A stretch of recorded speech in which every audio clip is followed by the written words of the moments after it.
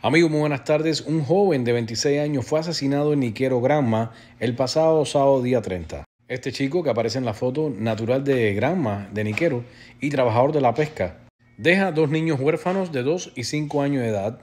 Según dio a conocer Yasmani Mayeta Labrada, quien nos informa a través de su portal de noticias y las redes sociales de este terrible incidente. Mayeta nos cuenta que el joven, según contó la madre entre lágrimas, fue a un lugar llamado La Terraza en la Plaza Mayor, en la Plaza Grande. Y mientras bailaba amorosamente con una chica que había conocido allí, apareció el ex de esta joven llamado Norjito, le decía Norjito, y le dio una puñalada mortal.